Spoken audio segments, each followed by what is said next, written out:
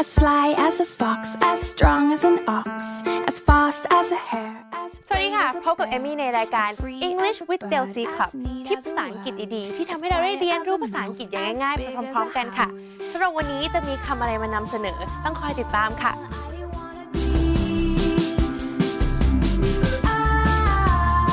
สำหรับวันนี้ขอนำเสนอคำว่า elude and elude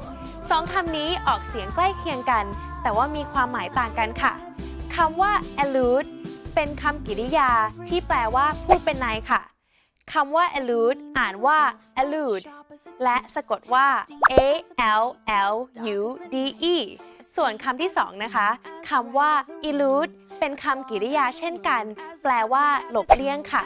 สำหรับคำว่า elude อ่านว่า elude และสะกดว่า e l u d e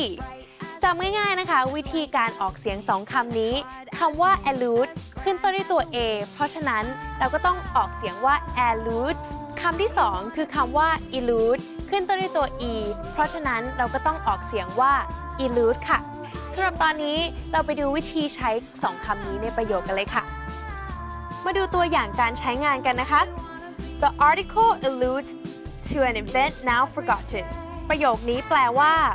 บทความนี้พูดเป็นในเกี่ยวกับเหตุการณ์ในปัจจุบันที่ถูกลืมไปแล้ว มาดูอีกประโยคนึงนะคะ The order to elude her eager public the movie star checked into the hotel under a false name ประโยคนี้แปลว่า เพื่อที่จะหลบเลี่ยงจากความสนใจของผู้คน เธอซึ่งเป็นดาราดัง จึงได้จองห้องในโรงแรมภายใต้ชื่อที่ไม่ถูกต้อง เป็นยังไงกันบ้างคะคำว่า elude พูดเป็นใน และ elude หลบเลี่ยงค่ะสองคำนี้ไม่ยากกันเลยใช่ไหมคะ ถ้าเกิดฝึกบ่อยๆสำหรับวันนี้หมดเวลาของเอมี่และ English with Delcy Club แล้ว ตอนนี้เราไปฟังคำสอนอันทรงคุณค่าของคุณยายอาจารย์ มหารัตนอุบาสิกาจันทร์ขนนกยุงกันเลยค่ะแล้วไว้เจอกันใหม่คราวหน้า สวัสดีค่ะ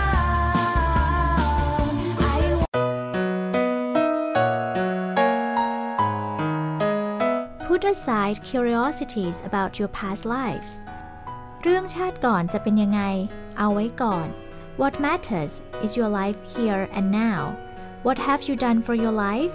สำคัญอยู่ที่ตัวคุณในปัจจุบัน จะทำอะไรให้กับตัวเอง What are you doing to save yourself เอาตัวเองให้รอด ให้ไว้เมื่อวันที่ 10 มีนาคม พุทธศักราช 2534